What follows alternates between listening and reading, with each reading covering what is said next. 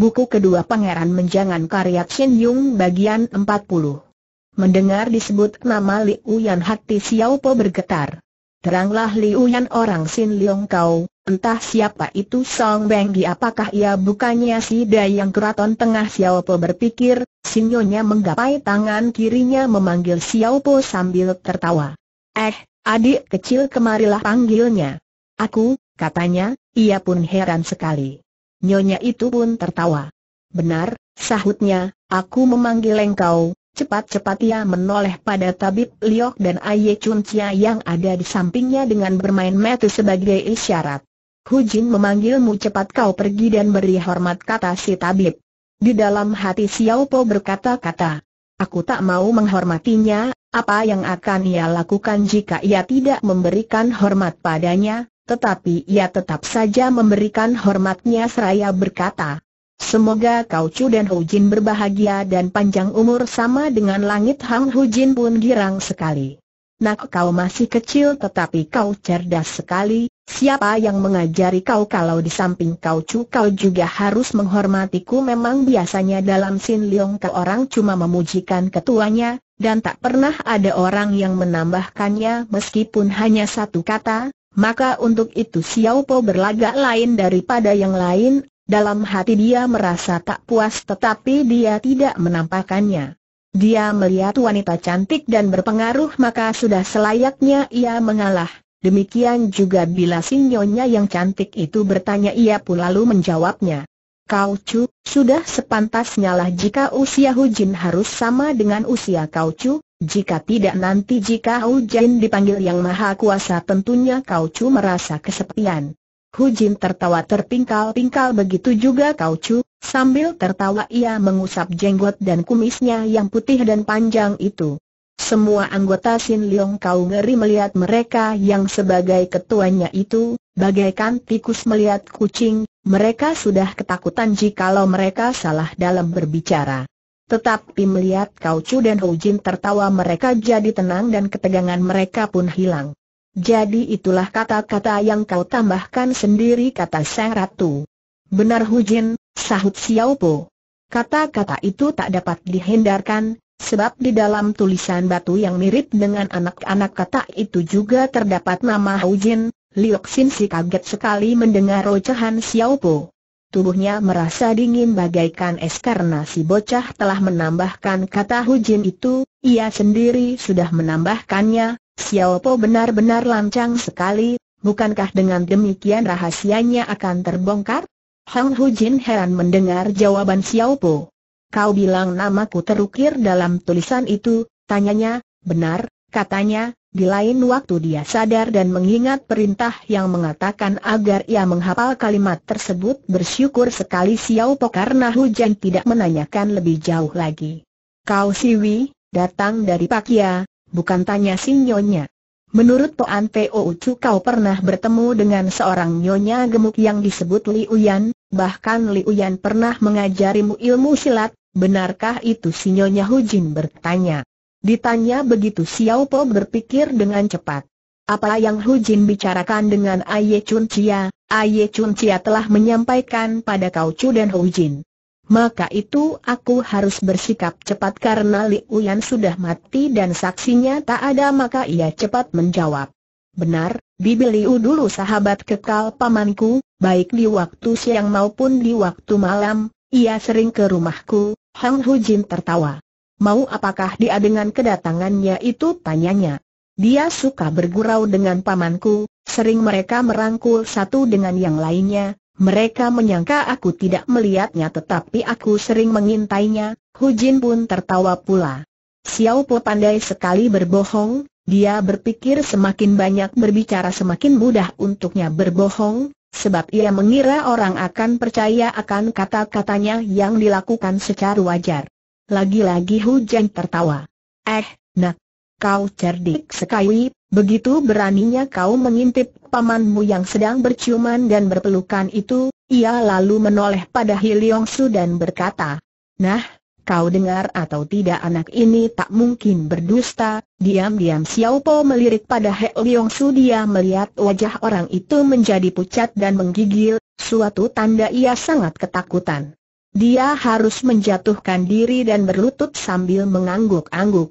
Hamba, hamba kurang penilikan, hamba harus mati, hamba mohon Kacu dan Hujin dapat memberikan ampunan pada hamba dapat menebus dosa ini. Xiao Po merasa heran juga, diam-diam dia berpikir dalam hatinya tua bangka ini aneh juga, aku toh cuma mengatakan bahwa si Liu Yan berpelukan dan berciuman dengan pamanku, apa hubungannya dengan dia ini?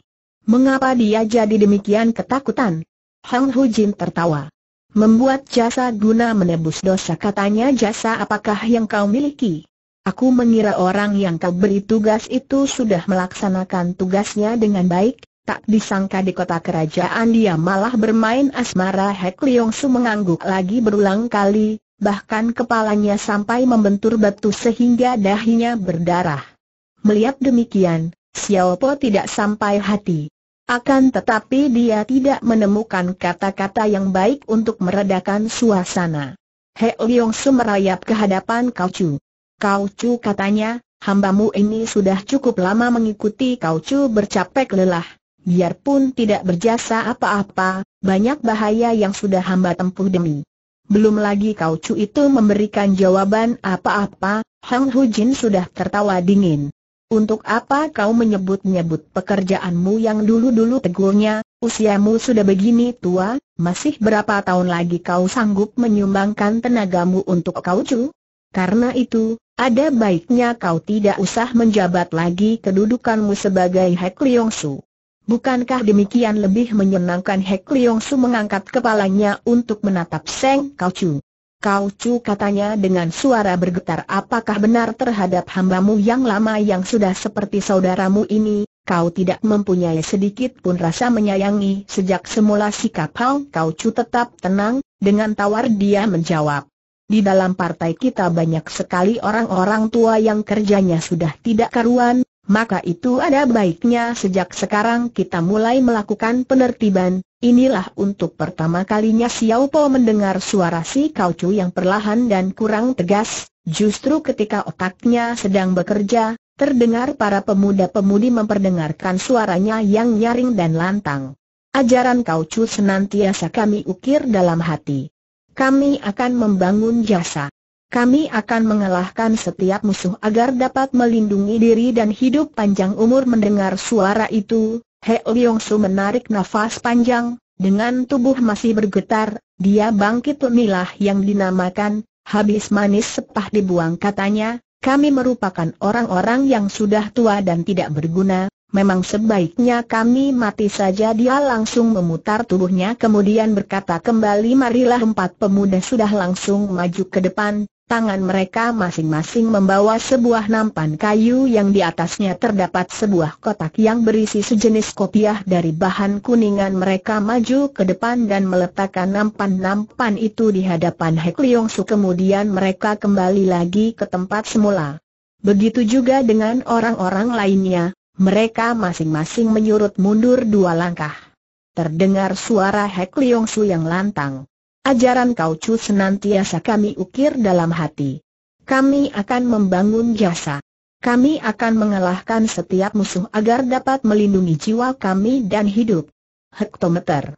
Tapi, tidak apa-apa meskipun jiwaku yang tua ini tidak dilindungi, sembari berkata, He Leong Su memegang bagian atas dari sebuah kotak, kemudian dia menariknya, setelah itu dari dalam kotak tampak mencelat bayangan sesuatu benda dan disusul dengan berkelebatnya sinar keputihan. Ternyata cahaya dari sebatang golok yang membacok bayangan yang mencelat tadi sehingga terkutung menjadi dua bagian dan terjatuh ke dalam nampan, namun masih terus berkutik-kutik. Rupanya itulah seekor ular kecil pancawarna. Menyaksikan hal itu, Xiao Po terkejut setengah mati, dia bahkan sampai mengeluarkan seruan tertahan. Lalu terdengar suara teriakan banyak orang. Siapa? Siapa yang berani menentang atasan? Bekuk dia.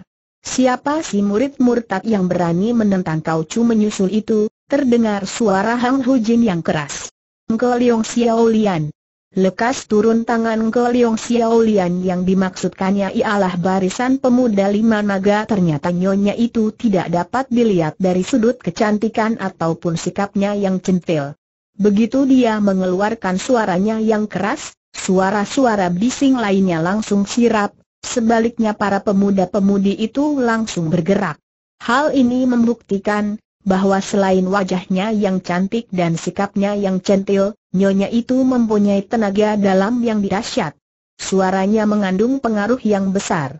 Begitu mendengar perintahnya, ratusan pemuda-pemudi langsung menghunus pedangnya masing-masing sehingga timbullah suara berdesingan yang riuh.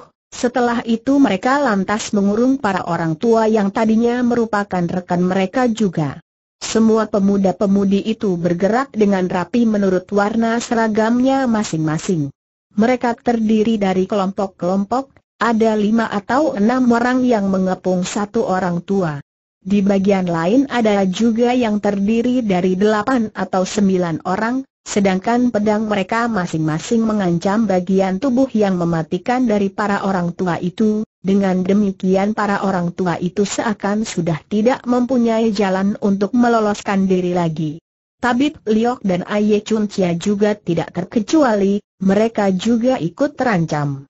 Seorang imam berkumis hitam dan usianya kurang lebih 50 tahun tertawa. Hujin, katanya, entah berapa bulan waktu yang kau habiskan untuk melatih barisanmu yang istimewa ini. Tapi kalau tujuannya untuk menghadapi para saudara tuamu ini, sebetulnya tidak perlukah sampai menggunakan care ini begitu dia selesai berkata, dua dari delapan orang nona yang mengurungnya segera maju selangkah dan mengancam dada orang itu dengan pedang masing-masing. Jangan kau bersikap kurang ajar terhadap kau Chu dan Hujin katanya garang. Si imam tertawa lagi. Hujin katanya kepada nyonya kau Chu itu, Sebaiknya aku katakan terus terang bahwa Naganggo Chai Sin Leong itu, akulah yang membunuhnya, yang ia maksudkan tentunya ular kecil panca warna tadi namun disebutnya naga, kalau Hu Jin ingin menjatuhkan hukuman atas dosaku itu, silahkan Hu Jin turun tangan kepada diriku. Harap jangan meremlet orang lain yang tidak bersalah Hang Hu Jin tersenyum. Bagus. Kau telah mengakuinya sendiri katanya. Totiang, Bukankah selama ini perlakuan kau cu terhadapmu tidak dapat dikatakan buruk? Bukankah kau telah dipercayakan tugas Chia Liwei Bun, Ciang Bunsu? Bukankah kedudukan itu hanya di bawah kau cu seorang, tapi di atas ribuan orang lainnya? Mengapa sekarang kau justru berkhianat aku yang rendah sama sekali tidak berniat mengkhianati kata si imam, He Leong Su Chuyam Goat telah berjasa besar terhadap partai sekarang hanya karena kesalahan kecil yakni kurang waspada terhadap sebawahannya, Hujan ingin merampas selembar jiwanya, tindakan Hujan ini benar-benar membuat aku tidak puas. Aku mohon agar kau Chu dan Hujin memberikan keringan kepadanya Hang Hujin tertawa kembali. Bagaimana kalau aku menolaknya? Sejak semula selalu sinyonya muda ini yang berbicara, sedangkan kau cunya hanya diam saja. Sin Leong kau dibangun oleh kau cu, sahut Bu Kinto Jin. Tetapi, di samping itu, kami ribuan saudara lainnya juga turut berjasa dengan mempertaruhkan nyawa bekerja tanpa menghiraukan mara bahaya, semula jumlah kita semuanya ada 1023 orang, sampai sekarang orang lama hanya tersisa beberapa ratus saja, saudara kami yang lainnya telah tiada, ada yang terbinasa di tangan musuh, ada juga yang dihukum mati oleh kau cu sendiri. Karena itu, aku mohon kau cu sudi mengampuni jiwa kami yang sisanya tidak seberapa ini, pecatlah kami dan keluarkanlah kami dari partai. Apabila kau Chu dan Ho Jin sudah jemu melihat kami yang sudah tua-tua ini, serta berniat memakai orang-orang baru, silahkan kau Chu dan Ho Jin mengusir kami agar kami berlalu dari sini Hang Ho Jin tertawa dingin. Semenjak Partai Sin Leong kau didirikan, belum pernah ada orang yang keluar dari partai dalam keadaan hidup-hidup, karena itu, Bukin Tojin, tidaklah kata-katamu itu luar biasa sekali kalau begitu, apakah berarti hujan tidak sudi menerima baik permintaan kami kata Bukin Tojin. Maaf partai kita tidak mempunyai peraturan seperti itu, sahut sinyonya tegas. Bukin Tojin tertawa terbahak-bahak. Kalau begitu, tentunya Hujan dan Kau Chu akan membunuh habis kami semuanya, katanya nyaring. Hang Hujin hanya tersenyum. Tidak sepenuhnya betul, katanya, para anggota yang sudah tua, asalkan masih setia terhadap Kau Chu, tetap kami anggap sebagai saudara. Kami tidak mementingkan usia muda atau tua, yang penting kesetiaannya. Nah, sekarang kalian semua dengar. Siapa yang masih setia kepada Kau Chu, silahkan angkat tangan sinyonya langsung bertanya kepada para anggota partainya. Para muda-mudi yang jumlahnya ratusan orang itu langsung mengacungkan tangannya.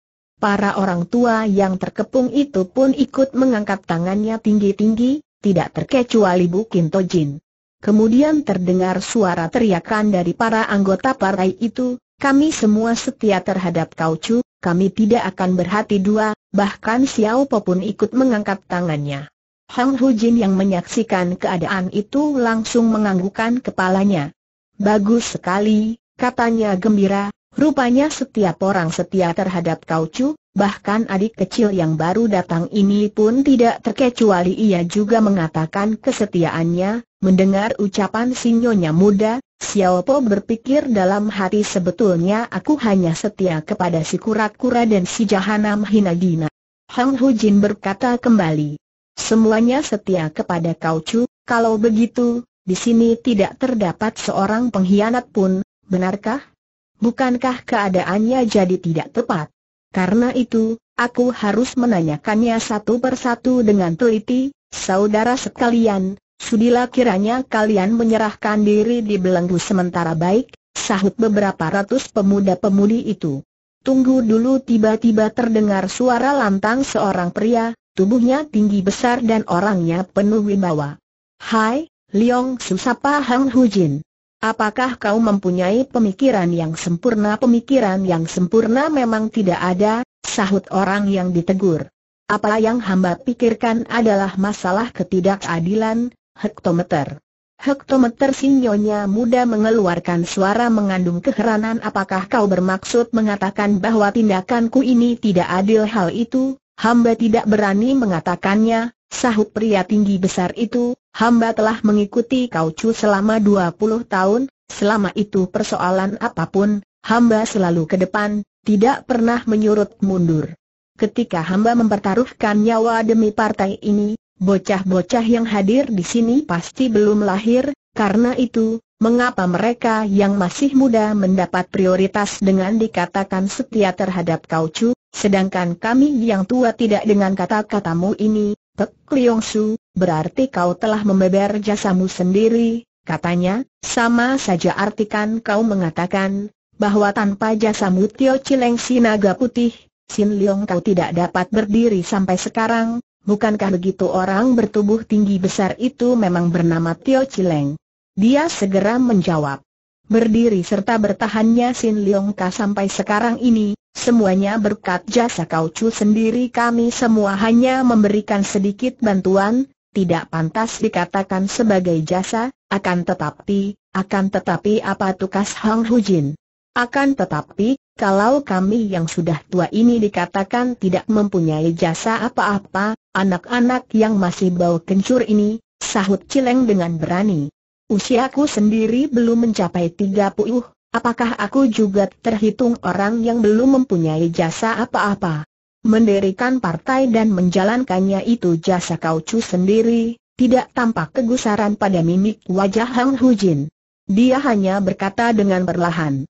Kalau semua memang tidak ada jasanya, seandainya kau kebunuh, tentu kau juga tidak akan penasaran, bukan tiba-tiba sinar matunyonya muda ini menyorotkan kebencian dia berteriak. Kalau hanya aku orang setio yang dibunuh, tidak apa.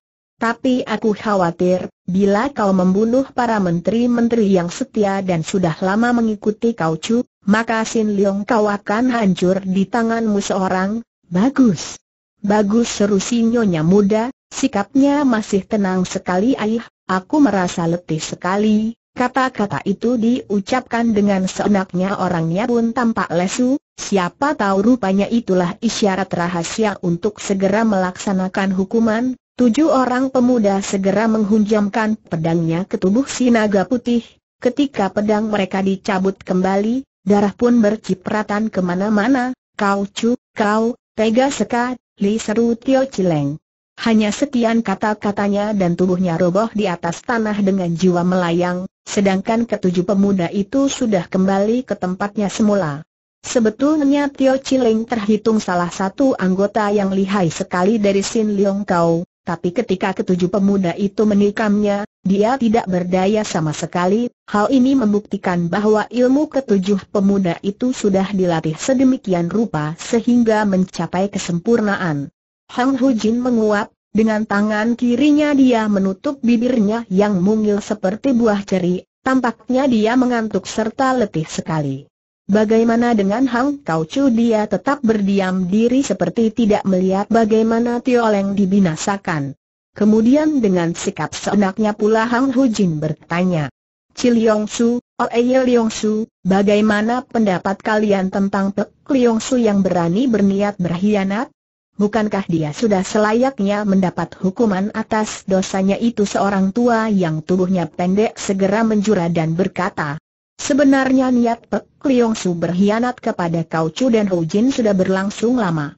Beberapa kali hamba melaporkan hal ini kepada Hu Jin, tetapi Hu Jin selalu mengatakan, selaku sesama saudara, Hu Jin ingin membiarkan saja agar tersadar dengan sendirinya, Kau Chu dan Hu Jin ya berhati mulai masih berharap dia insyaf dengan kesalahannya itu dan dapat memperbaiki diri. Siapa tahu hatinya yang busuk dan tidak selayaknya mendapatkan pengampunan sekarang dia telah menerima hukuman yang pantas baginya, sesungguhnya kami semua bersyukur atas tindakan Hujan dan Kau Chu ini mendengar ucapan si Kate itu, Xiao Po berpikir dalam hati, ini dia yang dinamakan si Raja menepuk-nepuk kempulan kuda Hang Hujin tersenyum. Ternyata Oei Leong Su pandai melihat suasana. Nah, Ciliong Su, bagaimana pikiran Anda seorang tua berusia kurang lebih lima puluhan tahun dan bertubuh tinggi memandang bengis kepada delapan pemuda yang mengurung dan mengancamnya? Dia berkata dengan suara keras. Kalian semua mundur. Kalau kau cu hendak membunuh aku, kalian kira aku tidak dapat melakukannya sendiri delapan pemuda itu bukannya menyurut mundur, mereka malah menjulurkan pedangnya sehingga menempel di dada orang. Orang jangkung kurus itu tertawa dingin beberapa kali, dengan perlahan dia mengangkat tangannya untuk memegang leher bajunya, kemudian dia berkata dengan suara lantang. Kau cu.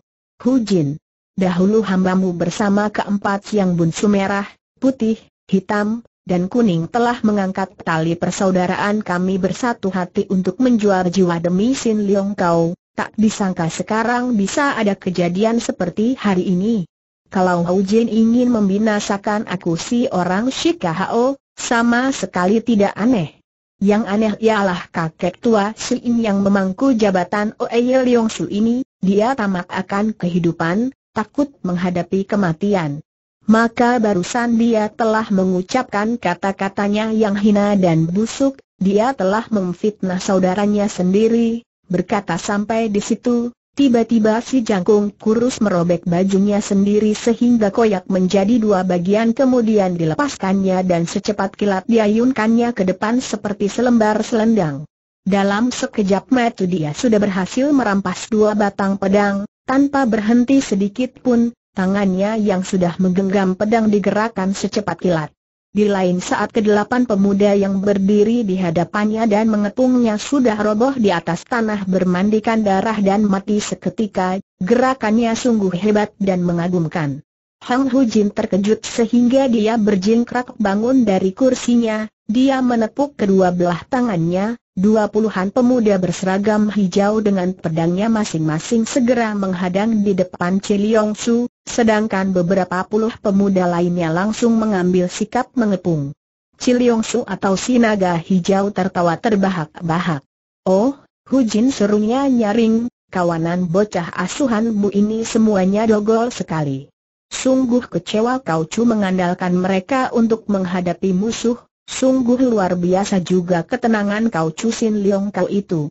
Tadi, ketika ketujuh pemudanya membinasakan Bek Leong Su, dia seakan tidak melihatnya, sekarang Che Leong Su berbalik membunuhi delapan orang anggotanya yang muda, dia juga diam saja, dia seperti tidak menghiraukan kejadian apa pun. Ketika Hang Hujin melihat sikap suaminya, dia menjadi jengah sendiri.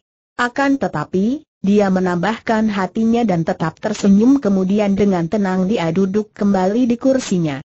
Ciliong Su katanya, ilmu pedang melihai sekali hari ini aku, belum habis ucapan sinyonya, tiba-tiba terdengar suara yang memusingkan suasana yang mencekam, karena beratus-ratus pedang di tangan pemuda-pemudi itu terlepas sendiri dan secara aneh sekali berjatuhan di atas tanah. Ketika orang-orang lainnya masih merasa aneh, para pemuda-pemudi itu pun terkulai di atas tanah menyusul jatuhnya pedang-pedang mereka, para anggota yang tenaga dalamnya lebih mahir roboh belakangan dengan tubuh terhuyung-huyung terlebih dahulu, tiba-tiba saja mereka merasa kepalanya pusing, matanya berkunang-kunang dan kedua lututnya menjadi lemas seperti orang yang kehabisan tenaga dan tidak sanggup lagi berdiri. Kak, Lian kenapa teriak sinyonya muda yang langsung berjingkrak bangun roboh kembali dan melorot dari atas kursinya. Ciliong Su tetap berdiri tegak, kedua pedang yang berhasil direbutnya dari para pemuda tadi masih digenggamnya rat-rat, dia mengeluarkan suara tertawa dingin kemudian berkata, Kau Cu kau telah membinasakan saudaramu sendiri secara kejam, siapa sangka akan datang hari seperti ini bagimu. Kata-katanya ditutup dengan dibenturkannya kedua batang pedang di tangan kanan kirinya sehingga menimbulkan suara yang nyaring, setelah itu, dia berjalan ke depan melewati para pemuda yang terkulai di atas tanah untuk menghampi ketuanya. Hektometer. Belum tentu sahut si ketua yang baru memperdengarkan suaranya kembali tangannya segera bergerak, palang kursi yang terdapat bagian belakang tempat duduknya langsung ditarik dan terputus lalu dicekal erat-erat olehnya. Ciliong Su terkejut setengah mati sehingga tanpa sadar kakinya menyurut mundur satu tindak, diam-diam dia berpikir, hebat kau cu ini. Ternyata dia dapat melawan pengaruh obat. Aku harus mencari jalan membiarkannya agak lama sehingga dia roboh sendiri, karena itu, untuk mengulur waktu, dia sengaja berkata, Kau Cu. Sin Leong kau begini besar dan berpengaruh tetapi sekarang menjadi hancur lebur seperti ini, sebenarnya siapakah yang menyebabkannya? Tentunya Kau Cu sudah mengerti sendiri, bukan Hang Kau Cu mengeluarkan seruan tertahan dan tubuhnya merosot jatuh bersama kursinya, dia terduduk di atas lantai disebabkan kaki kursi itu patah sendiri. Menyaksikan keadaan itu, senang sekali hati Chiliong Su, dia langsung menerjang ke depan. Tepat pada saat itulah, ser, sereket. Sebuah benda menyambar ke arah dada si naga hijau ini sehingga dia terkejut setengah mati, dengan gesit dia menggerakkan pedangnya dan berhasillah dia menyelamatkan diri karena benda itu terpapas kutung olehnya. Ternyata benda itu sebuah pegangan kursi yang ditimpukan si kaucu dengan tenaganya yang terakhir karena kayu itu kena dikutungkan ujung yang satunya tetap meluncur si naga hijau yang baru saja merasa lega karena mengira dirinya telah bebas dari ancaman, langsung menjerit ngeri karena dadanya telah tertikam kutungan kayu itu. Enam potong tulang rusuknya patah dan tembus sampai ke paru-parunya. Saking kaget dan nyerinya, Ciliong Su menjerit keras-keras, namun baru sampai setengah jalan, pernafasannya telah tertutup. Mulutnya tidak sanggup menimbulkan suara lagi, dan tubuhnya terhuyung-huyung sesaat kemudian dia pun roboh. Yang sial justru dua orang pemuda yang sedang roboh tidak berdaya, Kedua batang pedang yang tadinya digenggam si naga hijau jatuh menancap di tubuh mereka sehingga mereka berkau-kau kesakitan namun tidak sanggup bangun ataupun menyelamatkan diri. Para pemuda yang roboh di atas lantai itu menyaksikan kegagahan si Kaucu, serentak mereka bersorak kembali menyatakan pujiannya. Hang Kaucu berusaha untuk bangun, tangan kanannya menumpu pada lantai, kaki kanannya digerakkan juga, tetapi tetap saja dia tidak sanggup melakukannya. Kedua kakinya terasa lemas sekali. Dia roboh kembali bahkan tubuhnya berguling seperti labu air. Menyaksikan hal itu, sadarlah para pemuda itu bahwa kaucunya telah menjadi korban semacam racun yang digunakan pihak lawan. Tapi yang roboh bukan hanya para pemuda beserta kaucu dan hujannya saja, orang-orang yang tua pun ikut roboh. Di lain detik, Setelah sekian lama yang berdiri tinggal satu orang saja, dia bertubuh kecil, bahkan termasuk Kate, tetapi setelah semuanya roboh di atas lantai, dia justru menjadi orang yang paling jangkung di antara yang lainnya. Dia jadi mirip seekor burung bangau di antara burung-burung kecil lainnya.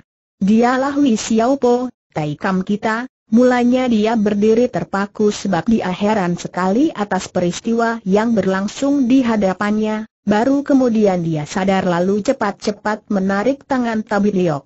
Liok Sinse, bagaimana ini tanyanya bingung. Si tabib sendiri juga heran. Karenanya, dia bukan menjawab malah bertanya. Eh, apa kau tidak keracunan-keracunan tanya si bocah, aku, tidak tahu. Ketika masih merasa heran, Xiao Po membantu si tabib bangun dan berdiri tetapi kemudian menegakkan tubuhnya sedikit. Tabib itu langsung terjatuh kembali. Ketika itu, Ciliong Su masih belum mati, dia dapat bergerak dan berusaha bangun, tubuhnya terhuyung-huyung, mulutnya mengeluarkan suara gumam yang tidak jelas, dia juga terus terbatuk-batuk. Liok Sin Si memperhatikan orang itu. Saudara KHO, tanyanya, racun apa yang kau gunakan sayang, sayang, sahut orang si KHO itu, dia bukannya menjawab tapi menggumam seorang diri, sayang usahaku cuma berhasil sebagian, akhirnya toh aku gagal juga, sayang, aku sudah tidak berguna lagi, apakah kau menggunakan Sip Hiang Chon atau Cian Li Xiao Hun tanya Liok Sin Se. Ataukah itu racun Hoa Hiat Hukut Hun ketiga obat yang ditanyakannya semua merupakan racun. Di waktu menyebut nama obat yang terakhir, si tabib jadi menggidik sendiri, terang dia merasa takut sekali. Ciliong Su terluka pada bagian paru-paru kanannya, dia terus terbatuk-batuk, sebab itu dia tidak dapat menjawab pertanyaan si tabib. Liok Sin Si pun menoleh kembali kepada tamunya, si bocah tanggung. Eh, eh, Wi Kong Chu, tanyanya, mengapa kau tidak terkena racun? Oh, ya, mendadak dia berhenti berkata, seakan ada suatu ingatan yang melintas dalam benaknya. Lya, aku ingat sekarang, pada ujung pedang pendek itu telah kuolesi obat Pak Hoa Hok. Wi Kong Chu, coba kau cium ujung pedangmu. Bukankah berbau wangi bunga ujung pedang itu ada racunnya? Mana sudi aku menciumnya? Kata Xiao Po dalam hati tetapi ia menjawab. Sekarang aku mencium wangi bunga yang begitu menyengat. Mendengar jawaban itu, Liok Sin Se menjadi sangat senang. Benar-benar Pak Hoa Hok serunya. Obat itu kalau dipakai dan ditelan serta bercampur dengan darah akan berbau harum yang sangat keras sekali, sebab yang dipakai sari wangi-wangian. Dan yang menciumnya akan mendapatkan kesegaran dari wanginya itu, namun kami yang tinggal di pulau ini memakainya untuk mengobati orang yang terkena ular berbisa, namun sebaliknya, jika wangi-wangian itu tercampur dengan arak warangan, akan menyebabkan orang menjadi lemah selama seharian saudara KHO memang bagus sekali dan sebenarnya Pak Hoa itu benda terlarang, siapa tahu kau telah menyimpannya secara diam-diam. Dan bukankah sudah beberapa bulan ini kau tidak minum Hang Hok Tau Yung Chu itu? Ciliong Su duduk merebahkan diri di samping seorang anak muda. Atas pertanyaan itu ia menggelengkan kepala dan ia sangat menyesali lalu berkata, Perhitungan manusia tak dapat melawan nasib dan takdir akhirnya aku pun terkena tangan beracun itu, oh, murid jahanam yang berhati besar, dia mendamprat anak muda. Bagaimana kau berani-beraninya menyebutku dengan nama suci dari kau Cuci Liong Su tertawa dingin sambil perlahan ia bangun dari duduknya, lalu mengambil sebilah pedang, kemudian langkah demi langkah ia mendekati Hang Kau Chu. Apa katanya? Tak dapatkah kau menyebut nama Hang Entong? Aku justru akan membinasakannya mengapa aku tak dapat menyebut nama itu? Lewat beberapa detik terdengarlah suara dari dalam yaitu suara sinaga sakti. Kakak, jika kau berhasil membunuh Hang Entong, kami semua akan mengangkatmu menjadi kaucu dari Sin Leong Kau. Mari ramai-ramai kita menyebutkan Hau Kaucu, kami setia dan tidak berhati dua hanya sejenak keadaan menjadi sunyi dan tak lama kemudian berkatalah semua yang hadir di situ.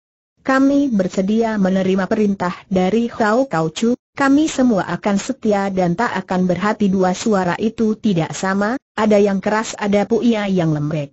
Ciliong Su berjalan beberapa langkah, dia luka parah tetapi masih ingin membinasakan ketuanya yang jahat itu. Tiba-tiba Hang Hujin tertawa cekikikan.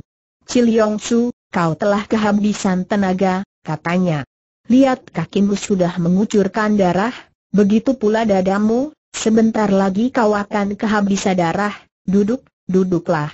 Kau hidup pun percuma mendingan kau mati, kalau kau sudah mati baru kau merasakan enak sekali, katanya. Kau eso uteng, demikian Ching Liong Su memberikan suaranya. Oh, oh, beberapa kali ia mengungkapkannya lalu jatuh terduduk dan tak bangkit lagi, namun pikirannya masih tetap sehat dan cepat sadar karena jika ia tetap duduk saja tak mungkin dapat membunuh Hang Kau Chu di antara mereka yang jumlahnya ratusan itu, Hang Kau Chu saja yang tenaganya paling mahir, karena itu pasti hanya dia yang mampu menghilangkan racun itu, dan dia pula yang akan menolong kawan-kawan mereka dari racun itu dan mereka semua akan merasa menjadi tangan kanannya Kau Chu itu. Liok. Liok Sinse, Tolong kau berikan aku pilihan mana yang harus aku jalani karena aku sudah tak dapat bergerak lagi. Coba kau tolong pikirkan sesuatu untuk aku Liok Sin setidak menjawab dan ia hanya berkata pada Xiao Po. Wi Kau Chu itu sangat jahat dan kejam kalau dia dapat menghilangkan racun ular itu dari dalam tubuhnya ia akan membinasakan kita semua, kau pun tak akan dapat hidup lebih lama lagi karena itu kau harus dapat membinasakan Kau dan istrinya Hujin kata-kata itu telah dapat menginsapkan dirinya dan karena itu ia lalu mengambil pedang dan melangkah dengan ringan sekali ke arah Kau Berkata pula Liok Sin Si. Wikong Chu awas dengan Hujin ia pandai membuat orang hilang ingatan, Jangan pandang wajahnya terutama matanya jangan percaya dengan kata-katanya karena itu dapat membuatmu menjadi celaka, dan pertama kau datang hadiahkan untuknya sebuah tusukan atau tebasan pedangmu itu ya, sahut Xiao Po yang maju terus pada Hujin. Sementara itu Hujin menatap terus anak itu terutama matanya. Hai anak kecil. Coba kau bilang aku cantik atau tidak, katanya. Suara itu terdengar sangat merdu dan orangnya pun sangat lemah lembut serta gerak-geriknya sangat bagus. Hati Xiao Po merasa berdebar dan ia ingin melihat metu dan wajah Hu Jin yang cantik itu tetapi ia sadar akan teriakan Aye Chun Chia. Jangan lihat matanya itu metu celaka yang akan menghancurkan Bu Xiao Po terkejut lalu ia memejamkan matanya. Hang Hu Jin tertawa perlahan dan berkata, Anak kecil coba kau buka matamu dan lihat mataku. Di mataku ada bayang-bayang dirimu, Xiao Po sangat tertarik sekali ingin membuka matanya tetapi ia masih dapat menahan diri untuk tidak melihat, anak tanggung itu sudah siap menghunjamkan pedangnya, namun tiba-tiba, kakak yang baik jangan bunuh dia itu teriakan yang suaranya sangat ia kenali. Sambil membatalkan tikamannya itu ia menoleh mencari arah suara itu. Tampak di sebelah kiri tergeletak seorang nona cantik bergaun merah, nona itu ternyata Sio Kun Chu Bok Kiam Peng yaitu seorang putri pangeran Bok dari Inlam, ia sangat terkejut sekali mengapa putri itu ada di markas Sin Leong Kau dan dalam keadaan seperti itu pula. Xiao Po cepat-cepat menghampiri nona bangsawan itu dan membantunya untuk bangun. Eh Nona, mengapa kau berada di sini Nona bangsawan itu tidak menjawab pertanyaan Xiao Po, Malah dengan nada bingung ia berkata, Kau tak dapat membinasakan hujan dan kau pun tak dapat membinasakan kau Chu Xiao Po diam dan ia terus menatap nona itu. Apakah kau telah masuk ke dalam Sin Leong kau tanyanya heran. Dan mengapa kau bisa jadi begini Kiam Peng bersandar pada tubuh Xiao Po? Nona itu sangat lemas dan mulutnya yang mungil itu dekat dengan kuping Xiao Po dan ia berkata, Aku minta pada kakak Suri kiranya kakak mengabulkan permintaanku yaitu kakak jangan membunuh Hujan dan juga Kau Chu, jika saja Suci ada di sini tentu ia pun memohon padamu untuk tidak membunuhnya, Suci adalah kakak seperguruannya yang perempuan. Xiao Po terdiam, Ia sangat senang sekali karena nona bangsawan itu telah lama tidak berjumpa dan kali ini ia berada dalam dekapannya bahkan mulutnya yang mungil itu berada di telinganya. Bagaimana sekarang? Jika aku tak membunuh kau Cu, nanti setelah ia terbebas dari racun itu ia yang akan membunuh aku, kata Xiao Po yang memeluk nona itu dan berbicara di telinganya. Kau menolong kau Cu dan Ho Jin, mana mungkin ia mau membunuhmu, Xiao Po berpikir, benar juga kata-kata itu namun ia memikirkan tabib Liok, Aye Chun Chia dan Bun Kin Tojin, bukankah ia akan dibinasakan oleh Kau Chu, Liok Sin Si dan Aye Chun Chia adalah sahabat barunya yang baik sedangkan Bun Kin Chun adalah imamnya yang sangat gagah. Tidakkah sangat disayangkan jika mereka itu sampai dibinasakan oleh Kau Chu dan Hujin? Yang paling baik, Jangan membunuh Kau Chu dan Hu Jin tetapi juga dia harus dapat melindung kawan-kawannya bertiga, demikian pikirnya.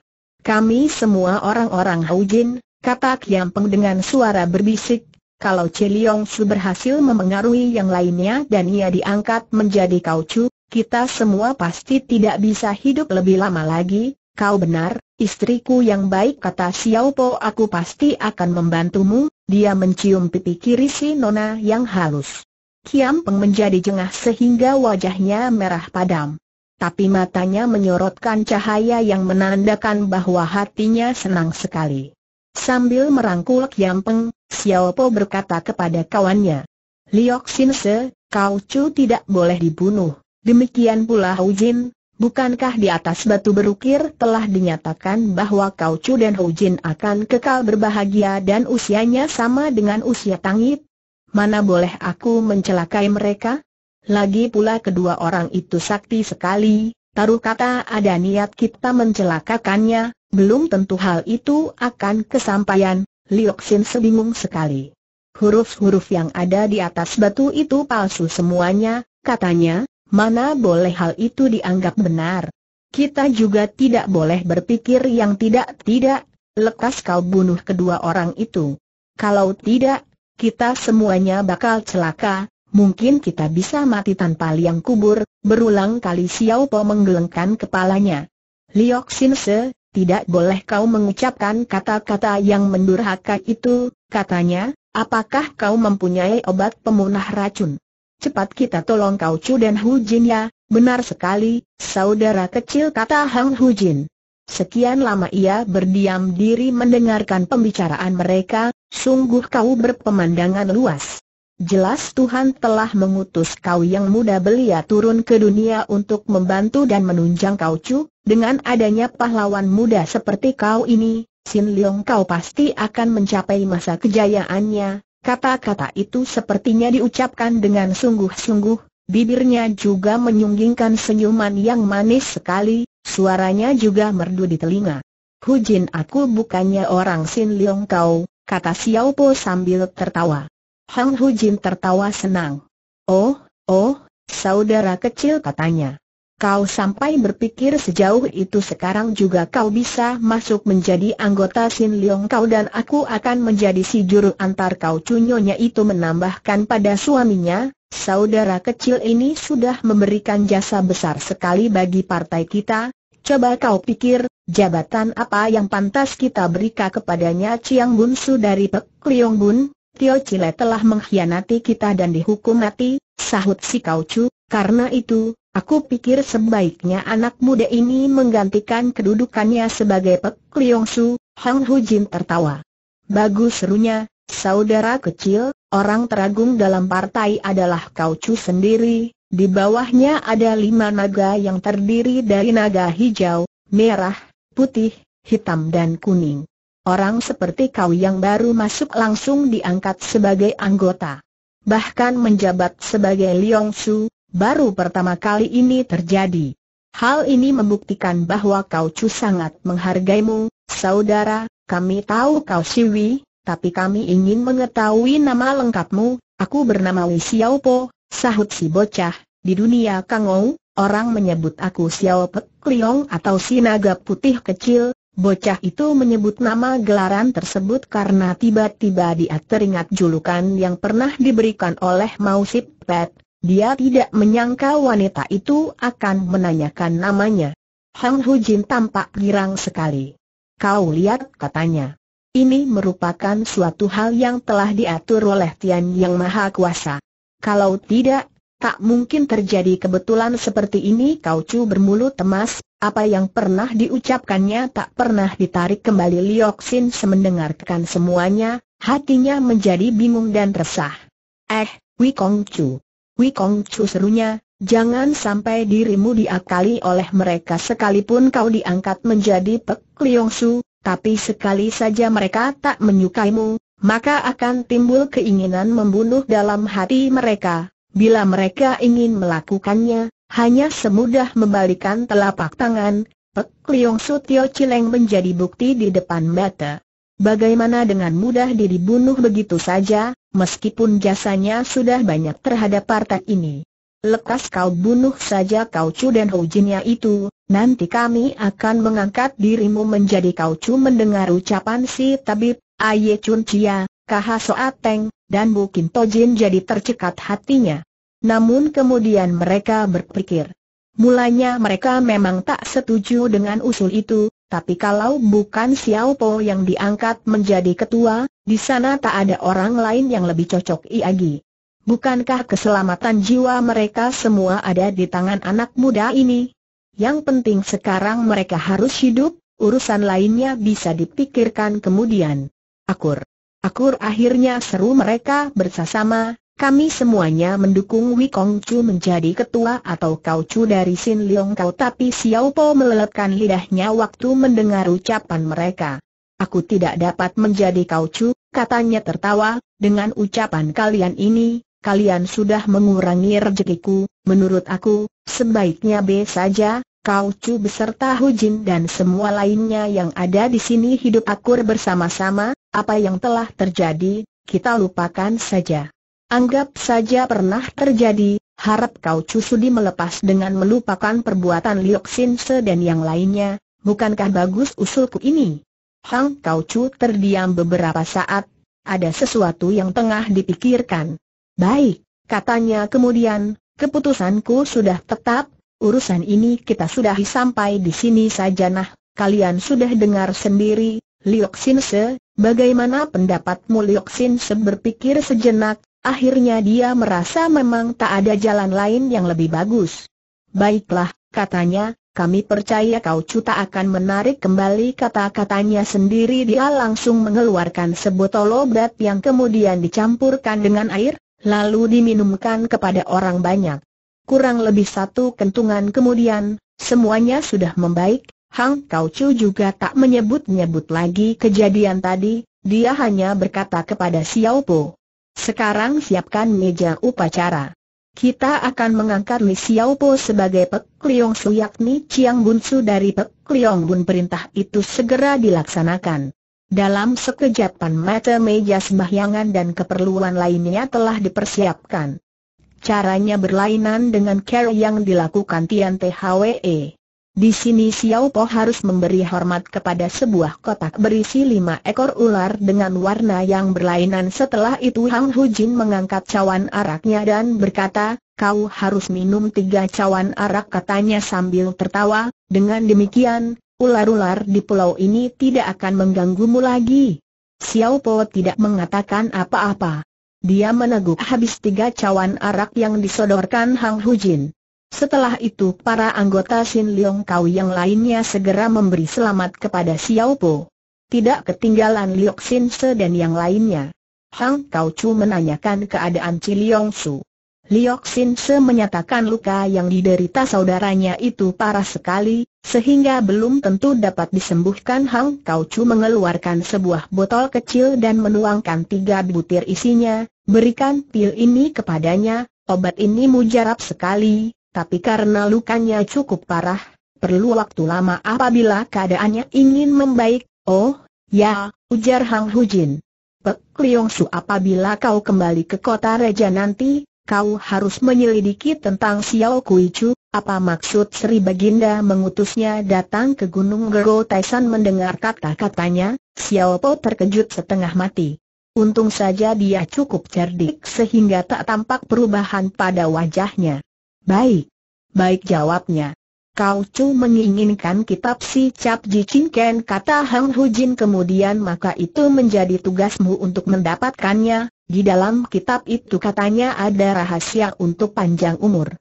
Pek Su, kau cu kami telah mendapatkan berkah dari Tian Yang Maha Kuasa, sudah selayaknya beliau mendapatkan kitab tersebut. Kalau engkau berhasil jasamu besar sekali, kau cu tidak akan melupakannya, Kau Chu pasti akan memberikan hadiah besar kepadamu Xiao Po berdiri, kemudian menjura dalam-dalam kepada Kau Chu dan Hu Jin. Biarpun tulang di tubuh hambamu ini akan hancur tebur, hamba tetap akan bersetia kepada Kau Chu dan Hu Jin katanya. Bagus kata Hang Hu Jin, kau boleh memilih beberapa orang rekan sebagai teman seperjalananmu nanti, nah, Pek Liong Su, siapa yang akan kau pilih sebagai rekanmu hamba memilih Xiao Po berpikir sejenak, matanya memperhatikan orang-orang dalam ruangan itu, kemudian menjawab dengan tegas, hamba memilih Aye Tosu dan Tabib Liok sebagai rekan dalam perjalanan baik sahut Hang Hujin. Aku memberikan tiga butir pil ini untuk ditelan oleh kalian masing-masing, namanya Tok Liong Ikin Wan Aye Chun Chia dan Tabib Liok segera menjatuhkan diri berlutut di hadapan ketuanya, meskipun tidak mengerti, Xiao Po ikut berlutut juga. Mereka masing-masing menyambut sebutir pil dan mengucapkan terima kasih, kemudian di depan ketuanya itu, mereka langsung menelan pil tersebut. Pek Liok Su, kau menggunakan senjata apa? Tanya Hang Hujan tiba-tiba. Kepandaian hamba buruk sekali, sahut Xiao Po. Hamba belum pernah belajar menggunakan senjata apa pun, Kecuali pisau belati kecil ini dia segera mengeluarkan pisau belatinya yang tajam dan memperlihatkannya kepada Hang Hujin. Oh, pisau yang bagus sekali. Bukan main tajamnya gumam Hang Hujin setelah memperhatikan pisau itu dengan seksama, baiklah. Aku akan mengajarkan tiga jurus ilmu kepadamu. Harap kau perhatikan baik-baik ilmu ini bernama Bijin Sam Chiao. Tanpa menunggu komentar dari Xiao Po, dia langsung menggerakkan kedua tangan dan kakinya serta mulai melangkah. Xiao Po cepat-cepat memusatkan perhatiannya untuk menyimak baik-baik. Xiao Po merasakan gerakan wanita itu bagus sekali. Dia berusaha mengingat setiap langkah yang dijalankannya, setelah selesai jurus pertama, Hang Hujan menyuruh. Xiao Po menirukannya. Ternyata Xiao Po sanggup meskipun masih banyak kesalahan yang dilakukannya. Selesai jurus pertama, Hang Hujin langsung menjalankan jurus kedua dan ketiga, semuanya ditiru baik-baik oleh Xiao Po. Hang Hujin dengan sabar menunjukkan di mana letak kesalahan yang dilakukannya. Setelah cukup lama, Xiao Po mulai bisa menjalankannya dengan baik. Hang Hujin tersenyum. Bagus katanya, Pek Liong ternyata otakmu cerdas sekali sebetulnya otak hamba tidaklah cerdas, Hal ini bisa terjadi karena Hujinlah yang pandai mengejarkannya. Hang Hujin tertawa senang, Hang Kau Chu berdiri dari kursinya, karena istriku telah mengajarkan tiga jurus ilmu kepadamu, ada baiknya aku pun mengajarkan satu jurus kepadamu. Dia menoleh kepada istrinya, Hujin, sini sebentar. Kau tangkislah seranganku ini. Dan Pek Liong Su, kau perhatikan baik-baik, Hang Hujin memenuhi permintaan suaminya, dia segera maju ke depan, Hang Kau Chu segera menggerakkan kedua tangannya dengan perlahan-lahan agar Xiao Po dapat melihat gerakannya dengan jelas. Meskipun demikian, ternyata Hang Hujin tak sanggup menahan serangan Kau Chu itu. Xiao Po merasa kagum sekali sehingga dia mendecakkan mulutnya, sebuah jurus yang demikian sederhana saja ternyata begitu ampuh, apalagi ilmu lainnya. Ilmu ini terdiri dari banyak jurus dan perubahannya, yang pertama baiknya kita namakan Inggo Cusi mengangkat kaki. Dan yang kedua ini. Ticin Poat Liu yaitu Ticin mencabut pohon Liu, bagus seru Hang Hujin. Ticin memang seorang gagah, tapi jurusmu yang ketiga ini tidak mirip dengan perbuatan seorang gagah atau pendekar umumnya kau harus tahu. Tak semua pendekar terdiri dari orang yang gagah, tidak jarang yang berjiwa pengecut kata Hang Kau Chu sambil tersenyum. Tapi sinyonya tidak dapat tertawa, karena seakan ditampar wajahnya mendengar sindiran suaminya. Hang Antong tertawa. Mengapa itu tidak dapat dinamakan orang gagah dia balik bertanya, tapi tak apalah, namakan saja Tio Chi Yang Hoabi atau Tio Chi menyipat alis. Sembari berkata, dengan tangannya Kau Chu memberi contoh dengan pura-pura menyipat istrinya. Hang Hujin tertawa. Kau aneh katanya, Tio Chiang bukan orang gagah. Apakah dia seorang pendekar yang khusus menolong istrinya menyipat alis Hang Antong tertawai lagi. Tapi dia orang gagah dari lain kalangan katanya, apakah bukan orang gagah kalau dalam kamar dia sanggup menguasai istrinya dan menyipat alis istrinya itu mau tidak mau, wajah Hang Hujan jadi merah padam. Kau bisa saja katanya. Xiao Po berpikir dalam hati, dia tak tahu siapa itu Tio Chiang. Menurutnya, menyipat alis istri bukan perbuatan laki-laki yang gagah, pasti Kau Cu itu hanya bergurau, maka dia turut bicara, Kau Cu, bukankah lebih tepat kalau jurus itu dinamakan In Chiang atau Siok Po menunggang kuda nama itu sebetulnya dapat dipakai, tapi masih kurang tepat, kata Hang Kau Cu. Apa sebabnya? Sebab kuda Kuan In Tiong itu asalnya milik Lu Pei-ou, sedangkan kudanya sendiri telah dijual. Aku pikir sebaiknya menggunakan nama Tek Cheng Heng Ki saja, sebab Tek Chi yang telah menaklukkan kuda naganya. Bagus seru Hang Hujin sembari bertepuk tangan, Tek Chi yang adalah seorang pendekar. Dia pernah membuat musuhnya terkejut dan melarikan diri sampai di situ. Xiao Po kembali mengulangi pelajaran ilmu Bijin Sam Chiao itu, dan Hang Hujin selalu memberi petunjuk mana yang masih belum sempurna, pelajaran itu sebenarnya Sui Ite, tapi untungnya bocah kita ini bisa mengingat setiap jalannya, sehingga dia dapat berlatih terus. Sementara itu, waktu sudah menjelang tengah hari. Pek Liong Su, kata Hang Hujin kemudian kau sungguh beruntung. Kau tahu, orang dalam partai ini yang mendapat pelajaran langsung dari Kau Chu, selain aku sendiri, Kau merupakan orang satu-satunya itu karena peruntunganku yang bagus sahu Xiao Po. Hambamu sangat berterima kasih kepada kau Chu dan Hu Jin karena itu, kata Hang Hu Jin kembali kau harus belajar sungguh dan kelak di kemudian hari harus bisa membalas budi kebaikan kau Chu ini. Terutama, kau harus bekerja sesungguh hati terhadap kau Chu. Lya, Hu Jin sahut Xiao Po. Nah, sekarang kau boleh mengundurkan diri kata Hang Hujin. Kau harus mempersiapkan diri agar besok kau bisa mulai menjalankan tugasmu. Besok pagi-pagi kau harus berangkat bersama Potauto dan Liok Kho Hian, tanpa perlu berpamit lagi pada kami Xiao Po mengangguk. Kemudian dia memberi hormat pada ketua dan nyonyanya itu, setelah itu dia membalikan tubuh untuk mengundurkan diri. Tetapi ketika sampai di ambang pintu, dia berkata,